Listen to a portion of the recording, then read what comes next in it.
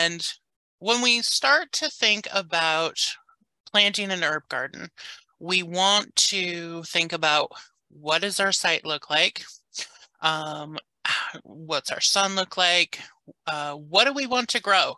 Um, I, I always uh, tell people if you are not going to use it or you are not going to appreciate that plant in some way, don't grow it because we all like finding good deals for plants, but if you're not going to use or appreciate that plant, it takes up valuable space in our landscape.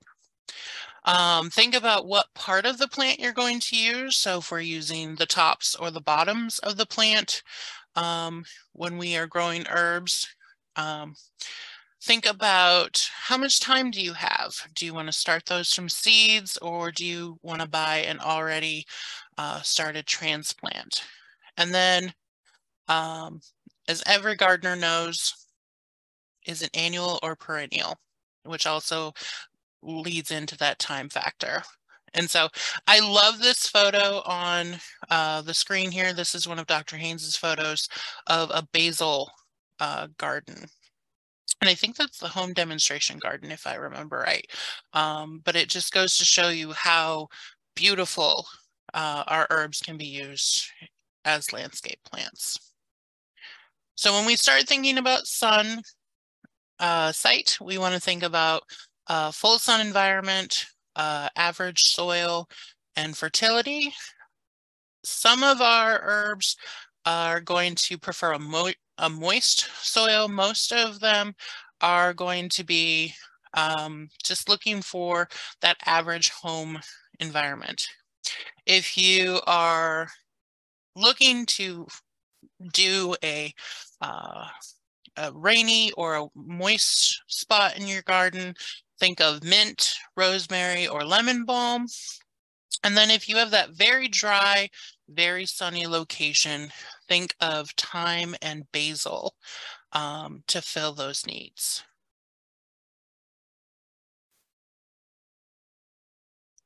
When we start to think about, do we want to do seeds or our transplants? Um, the best herbs come that come from seed are most of our annual uh, herbs. So basil, dill, parsley, cilantro, or coriander, depending on which part of the plant you're going to be using. Um, for those that aren't familiar, uh, coriander is the seeds for cilantro.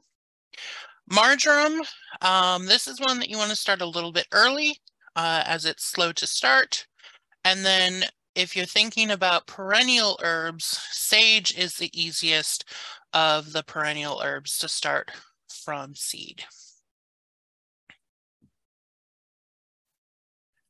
When we start thinking about existing plants or transplants, um, we can also start thinking about propagation. So cuttings, division, um, and starting new plants from existing plants. And for those, we want to use our perennial herbs. Um, lavender is one of the, lavender and rosemary are ones that are very common for cuttings as well as sage. Um, tarragon is used in um, cuttings and division because when it's seed started, it doesn't have a, as full of flavor as it does from an existing plant. And then bay, marjoram, and mint as well. And we will talk about the whole situation that is mint uh, as we go forward. Uh, for those beginning gardeners, um, that have not experimented with mint, um, I will share some warnings and some red flags that come with growing mint. Um, and for those that are experienced gardeners, you may have some of your own stories as well. All right, there are different places we can put our herbs as we talked about site, but one of the things that is great about herbs is they can be done very well in containers. Um, for those who may have downsized a property or may just not be able to um, get down and work in a raised bed or a uh, in-ground garden, container herbs can be a uh, greater asset to the gardener's toolbox. They're easier for maintenance, a lot less space to weed. They're easier to harvest um, because you can put them anywhere. And I have found with growing my herbs that when they are closest to my kitchen, I use them more often. So uh, if I have window box herbs in my kitchen or um, some herbs on my back patio, that is easy to just step out when I'm doing my preparation for a meal and grabbing those herbs. Along with containers, um, we get reduced risk of disease um, because containers are ease, more um, moisture friendly when um, we incorporate that in there. Incorporate the proper uh, potting mix. Maintenance and care uh, for containers um, is very, very easy. It's a potential uh, issue to lose moisture faster um, because you're above ground, as well as the wind blowing through your garden. Um, during the hottest months, you may require you may have to check multiple times in the day um, to water. You always want to allow water to drain out of the bottom of the pot. No standing water, no wet feet. Um, as we'll talk about uh, with some of our herbs, they do not tolerate that wet feet very well. Um, we want to avoid excess fertilizer. Um, and this is because when we give our herbs extra fertilizer, um, they can go to seed faster, they can get leggy, um, and we want that nice bushy controlled growth depending on the herb that we are growing. And then always pinch back to control spindly growth. So uh, if we look at some of the taller herbs that we have here, if they start to get really spread out between the nodes, we can pinch that bud at the top and it'll have that hormonal response to bush everything back out. As with any plant that we grow, uh, it's has some common herb problems throughout all of our herbs. Um, so we can have some wilt, which herbs are always fun. Plants are always fun because you can have a problem like wilting, and that can be from lack of water, but it can also be from too much water. So this is why you want to be checking your soil moisture those couple of times throughout the day when it starts to get warmer um, to help control um, your plants losing moisture. When herby plants that we're going to be using and harvesting start to lose moisture, that can be um, an issue if we're going to want to use those freshly. Uh, if leaf edges start to burn or die back, or they turn dry and become brittle, that's usually a high salt problem. So this comes from either a excess in fertilizer or um, if you use the wrong water. So um, we actually had this happen at one of our community gardens. They put in a water softener and we weren't told that the faucet that we had changed, had been using, changed to soft water. So they put in a hard water one for us. Um, and we actually had some of our leaf edges on our plants start dying out um, because of that high salt from the softened water. Um, if our plants become legally, leggy or spindly, this could be a low light situation or too much nitrogen. And then yellowing from the bottom um, can be caused um, by too much water or uh, low fertility. And then when we overwater, that's when we start to get those root rots. And root rots um, are never fun. Um, and that's why we say no wet feet for our herbs. And we want to have those good drainage holes. So no matter whether you are growing them outside or you're growing them inside, these are some common problems that we can have with our herbs. And to ensure that our herbs do well indoors, uh, we can look at a number of different herbs to grow indoors. Um, some common ones are chive, thyme, basil, parsley, rosemary, sage, oregano, and the mints. Um,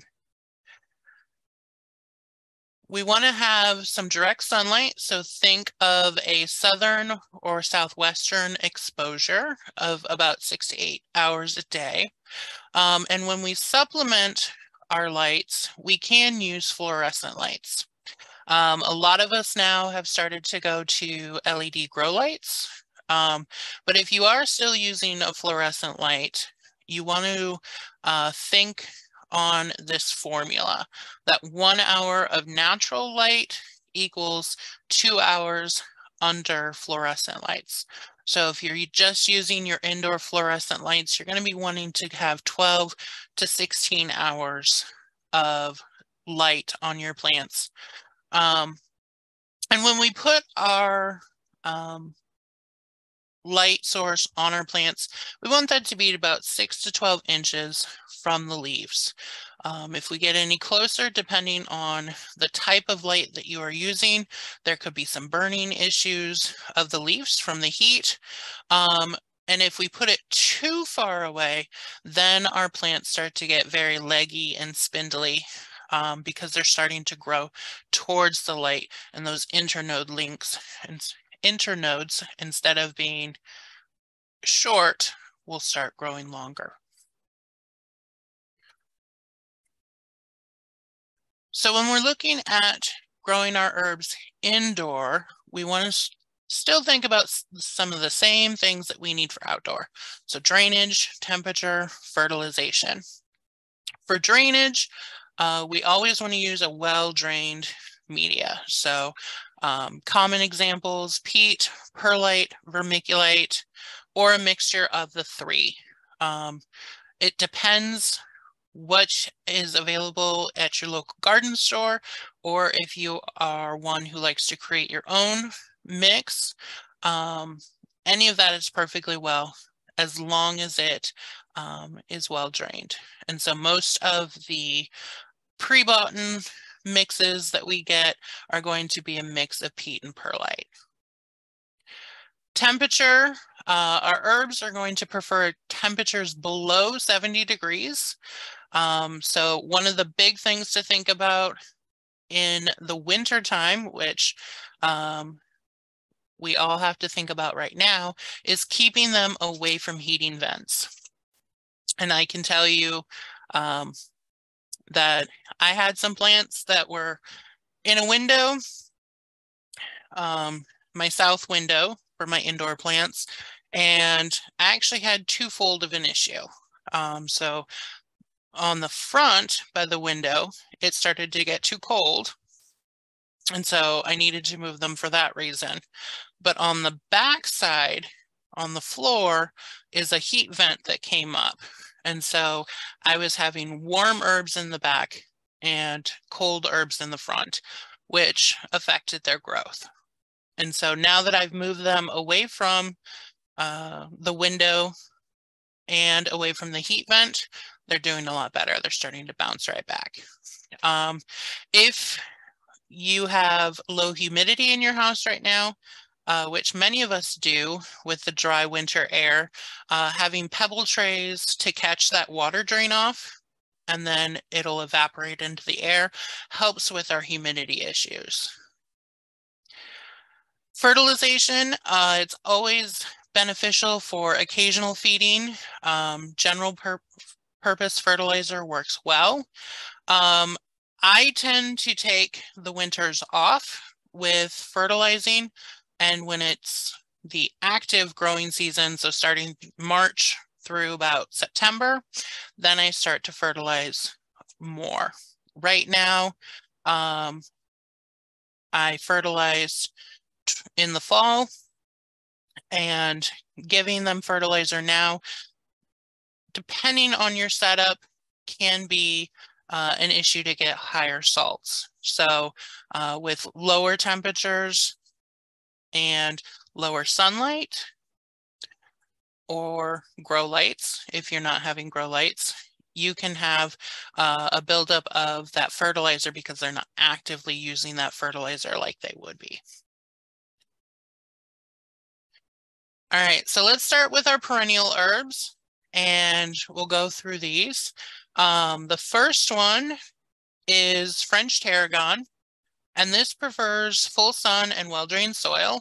Um, and when we look at harvesting our French tarragon, we're going to look at harvesting it depending on its use. And so if we are going to harvest it for making herbal vinegars. We want to harvest it in June. But if we are going to be using it in a dry form, we're going to want to harvest that in July.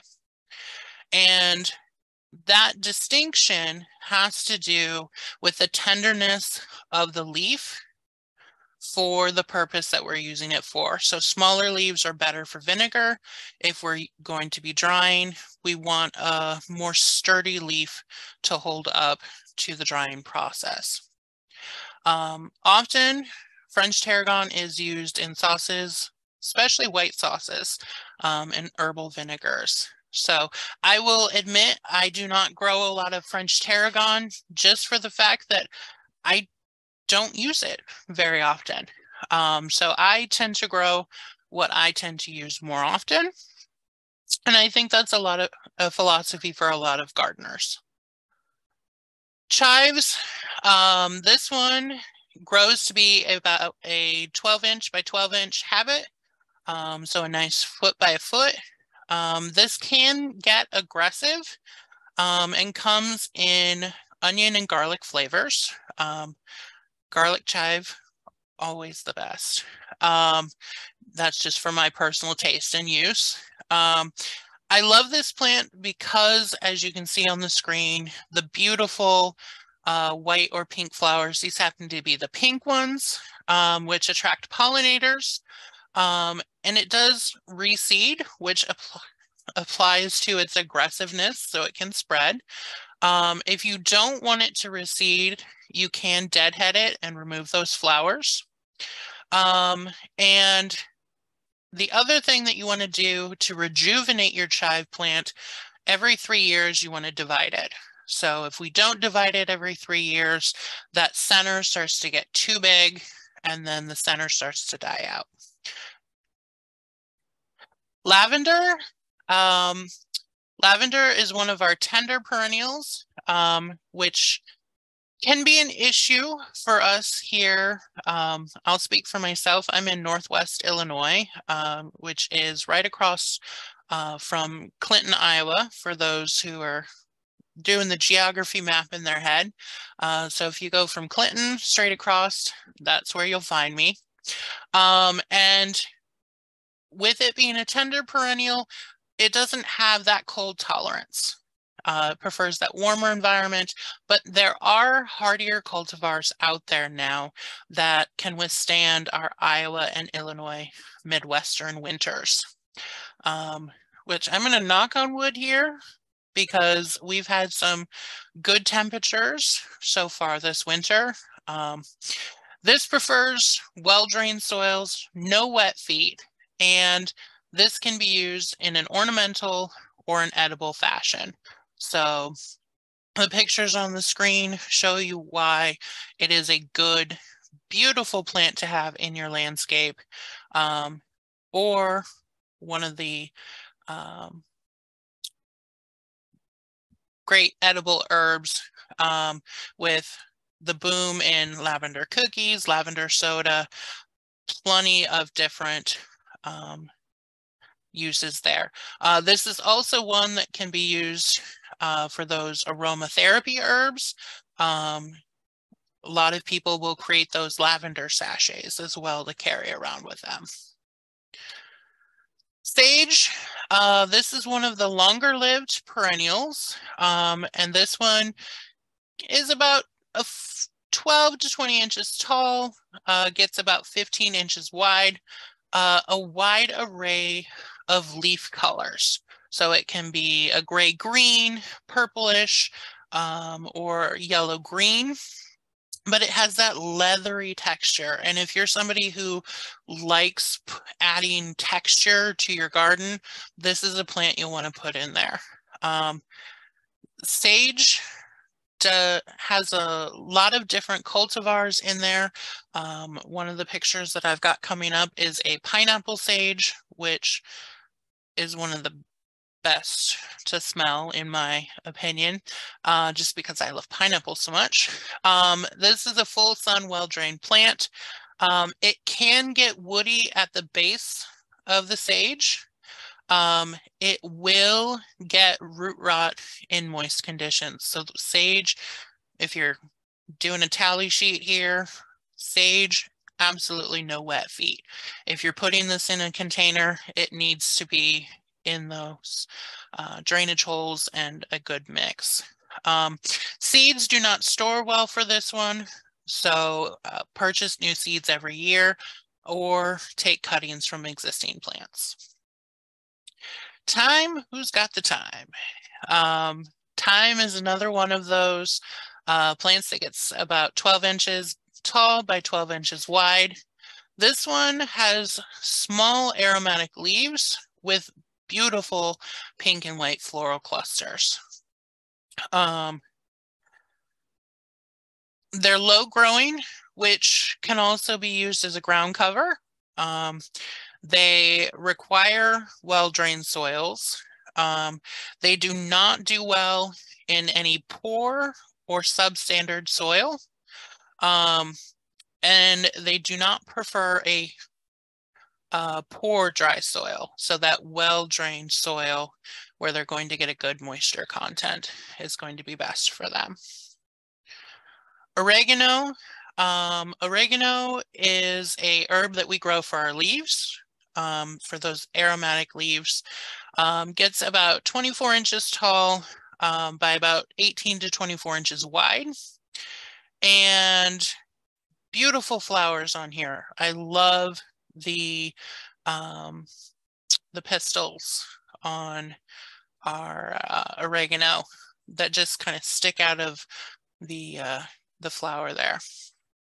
Um, there are many species of um, oregano that we can grow here. Uh, so Greek oregano, common oregano, and then sweet marjoram, which is uh, used in a lot of dishes. Um, one of the things that I also love about oregano is that there are gold leaf cultivars available and those need partial shade. So plants should be cut back before flowering to promote that vegetative growth. So this is one of those plants that you want to think about. Am I using this as a landscape plant to have these beautiful flowers? Or am I going to use it as an herb and I want to grow it for its leaves? So when you think about that, then you want to decide, okay, I'm growing it for herbs. I'm going to grow it for its leaves. I want to uh, dry, have, have a big enough crop that I dry at the end of the year. So I want to cut those flowers back so that it remains in that vegetative state. Oregano is also one of the plants that has some disease and insect issues with it. So it does not like wet feet. It gets root rot.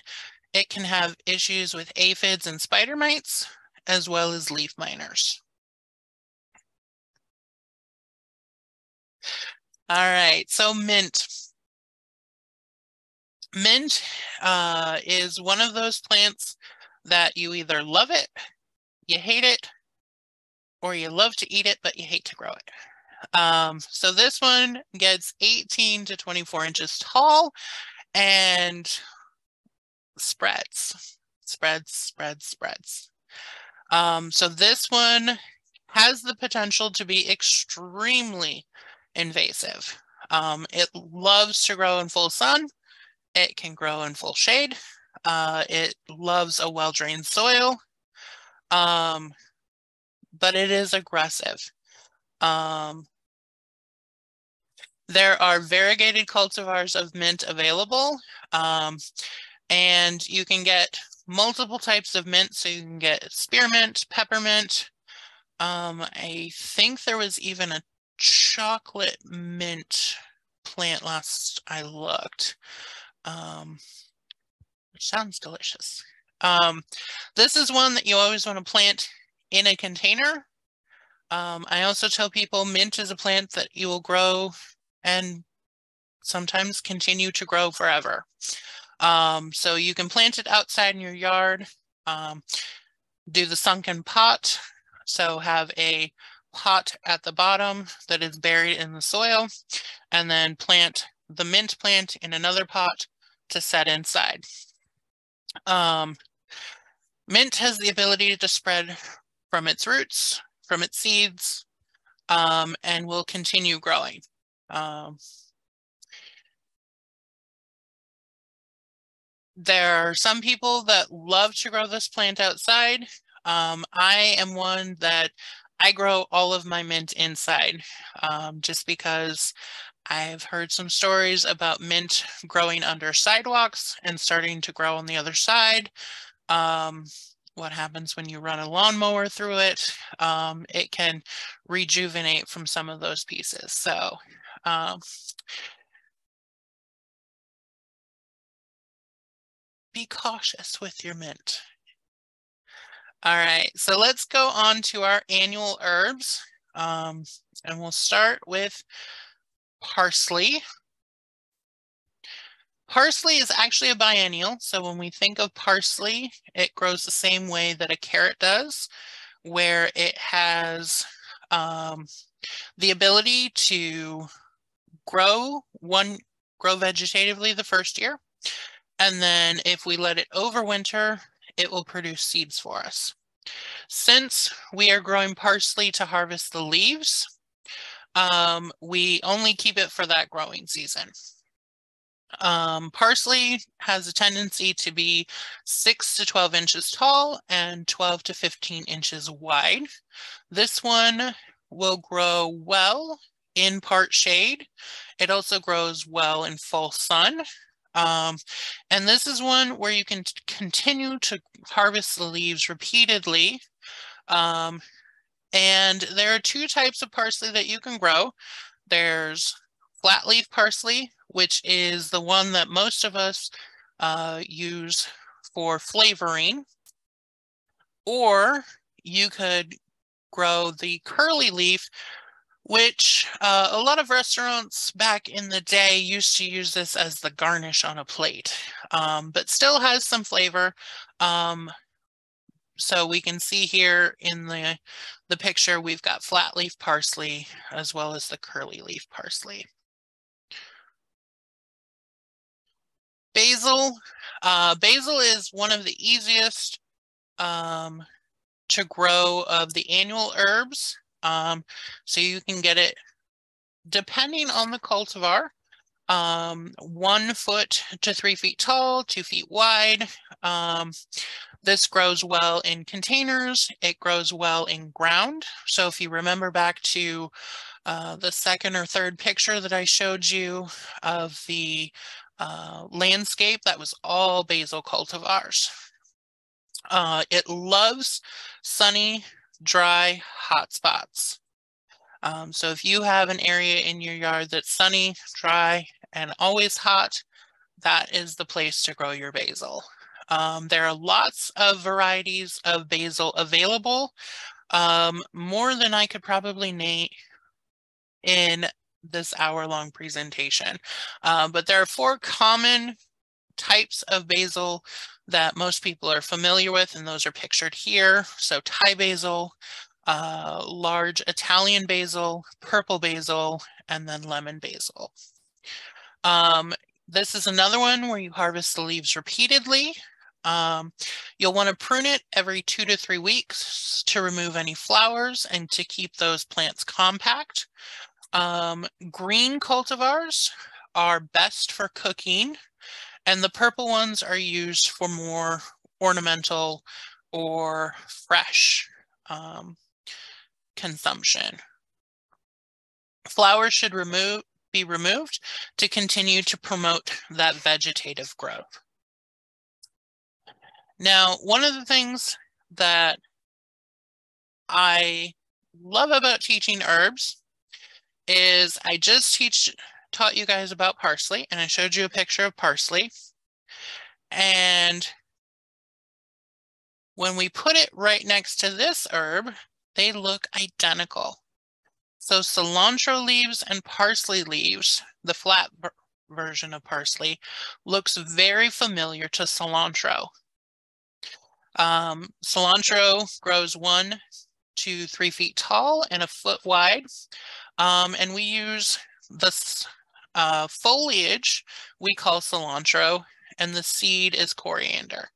So the coriander that you might use for cooking is the same seeds that we plant for growing new cilantro.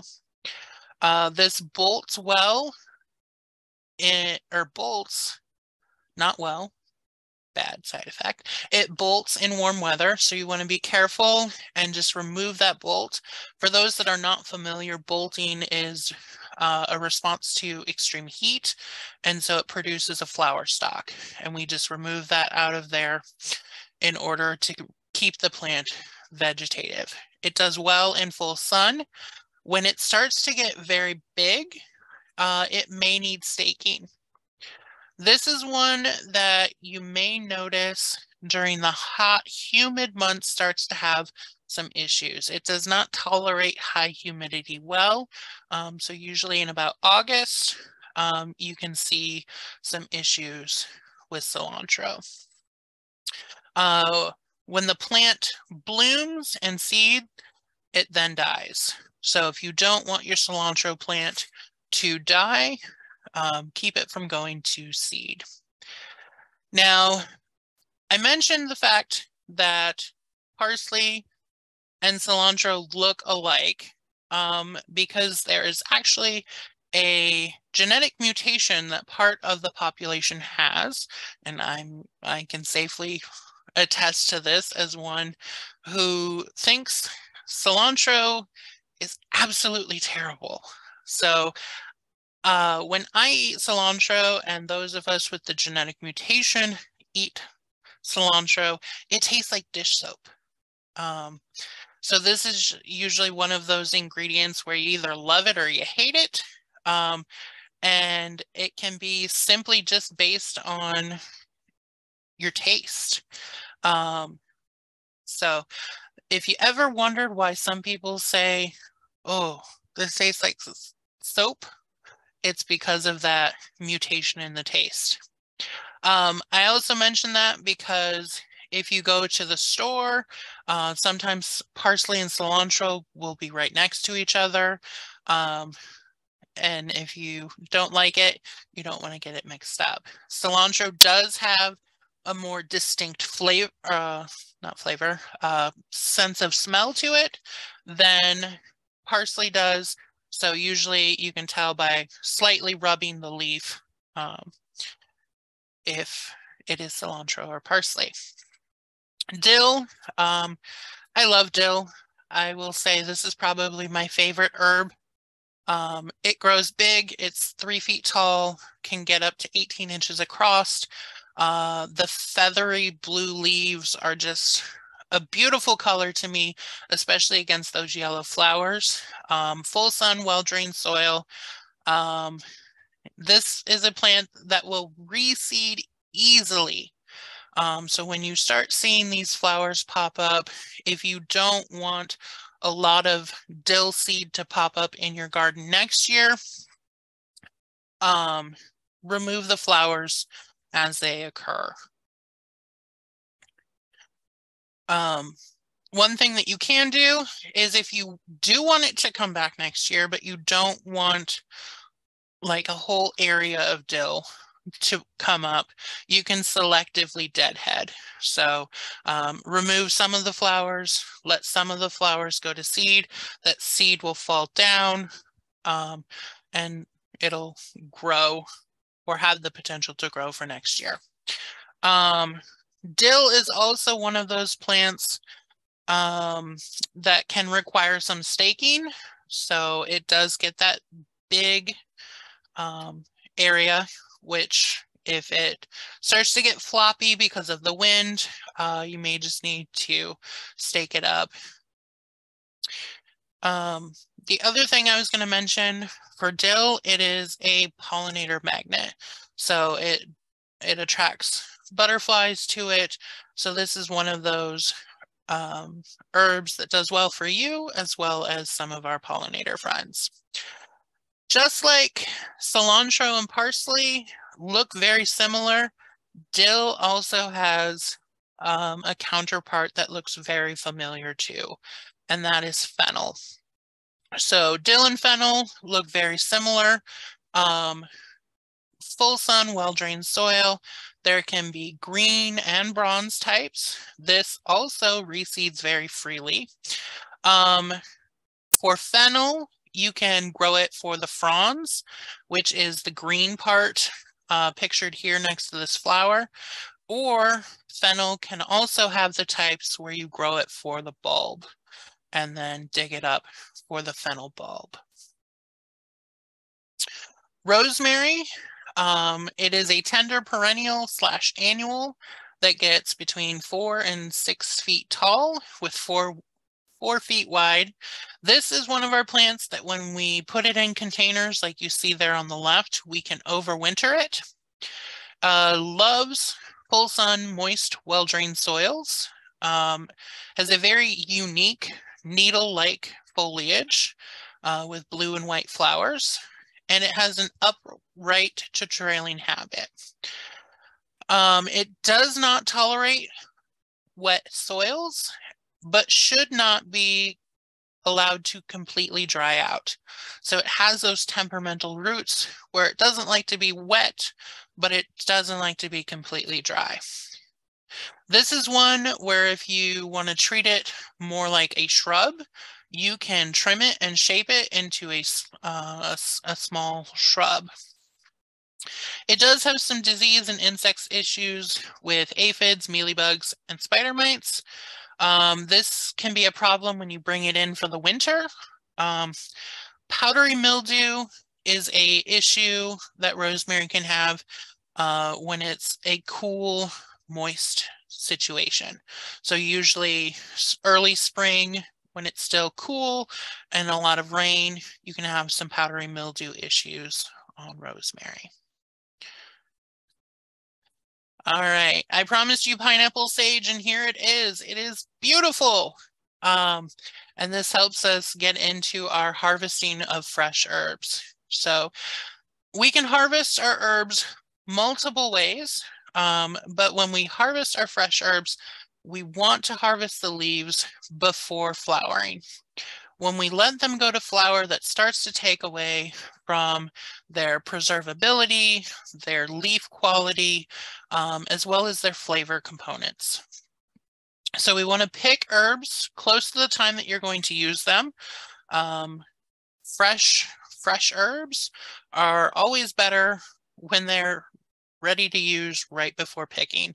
Um, sometimes, though, we just can't help it and we have to pick them and bring them in.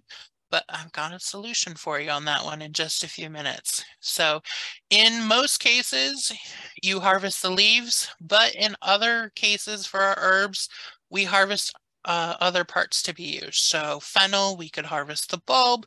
Uh, cilantro, we can harvest the seed, which is coriander. It all depends on how you're going to use your herb and what you're going to use it for. Um, Harvesting, so annual herbs, anytime before flowering, you can cut them back severely. And um, if you want the plant to for next year, you can let it go to seed um, and let it mature and harvest that seed after it flowers. Our perennial herbs, you never want to do a heavy cutback. Just with every perennial, you only want to remove up to a third at a time. Um, when we do a heavy cut or a heavy prune, that affects the the future of our plant um, depending on if that has a crown or an underground structure we start taking um, that energy needed for the fall and I love this picture here um, because this is actually a flower bouquet for a wedding that's made out of basil. So our herbs are not just for cooking or for crafting or for harvesting. You can use them as bouquets in your house, which also make your house smell really good. Storing our fresh herbs. Um, so you want to snip off the end of the stems on the diagonal. So just like when you get a fresh bouquet of flowers, you make that diagonal cut and then you want to put them in water. Herbs can be placed in a tall glass with about an inch of water. Uh, cover loosely with either plastic wrap or a plastic bag, and then store those in re your refrigerator as you need, or and replace the water when it gets um, cloudy. Usually that cloudiness starts to be microbial growth. Or um, there's another traditional way you can do it, uh, wrapping your herb in a damp paper towel, placing that in a plastic bag and placing that in a refrigerator. So for herbs that have a longer hardy stem, um, those could be cilantro, parsley, and mint. Um, basil does not refrigerate well. So when basil is exposed to cooler temperatures, the leaves start to turn black. Um, so you can see in the picture here, this is basil and it does have a flower on it. Um, but this basil is not in a refrigerator, it's sitting on a kitchen counter. Um, herbs last about a week by storing them in the fridge, either way by putting them in water or the paper towel. Now, what do you do if you have so many herbs you don't know what to do with?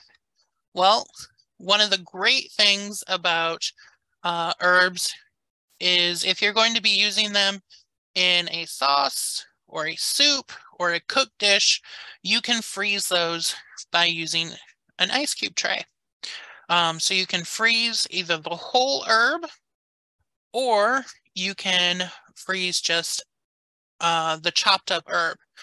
Um, although some herbs tend to get um, strong or bitter when frozen, whole herbs can be thawed and then chopped and used in cooked dishes.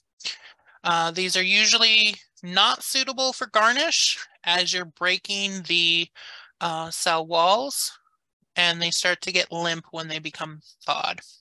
Uh, if you're going to do the chopped herbs um, and put them in water and olive oil and freeze, those are usually best for soups and sauces.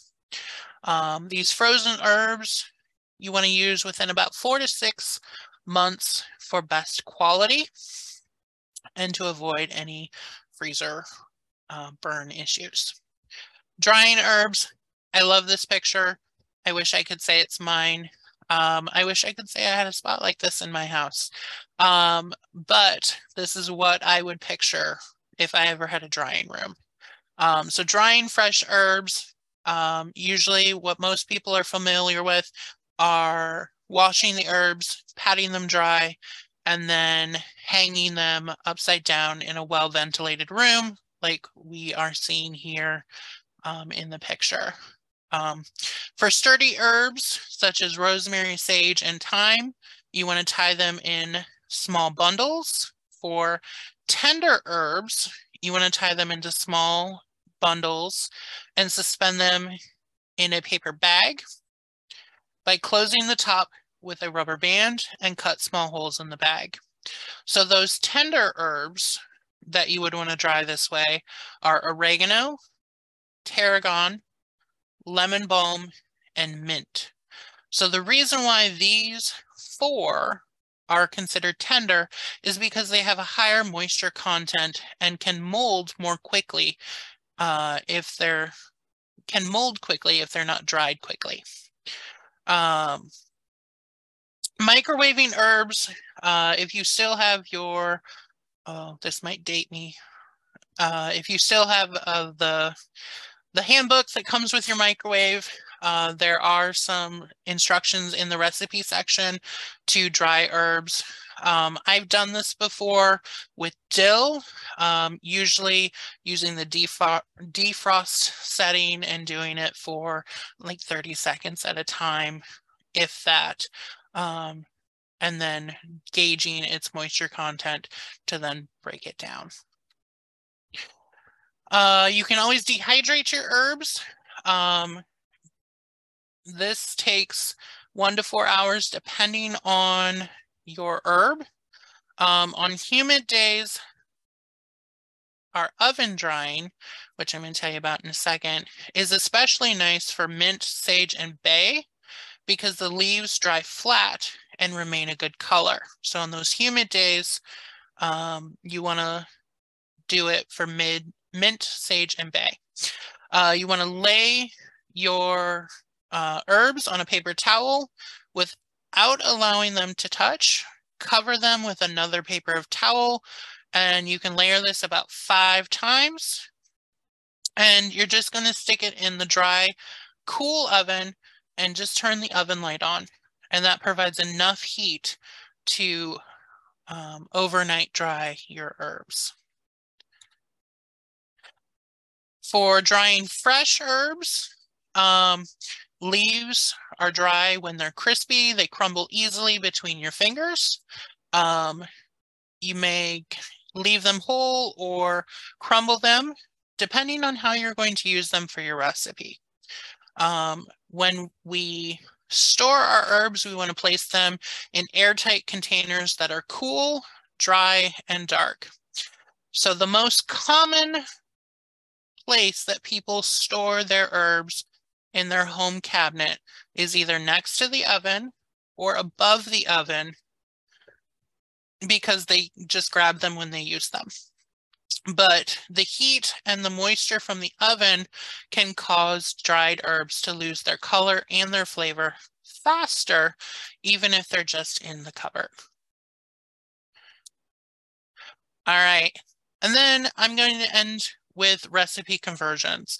So this is a slide that I always say if you've got a smartphone or a camera or even a pen and paper uh, to write this down, uh, just because it's so handy to have. I have this uh, on the inside of my spice cabinet as an easy remember uh, for when I'm switching between fresh herbs, dry herbs, and uh, crumbled herbs or ground herbs.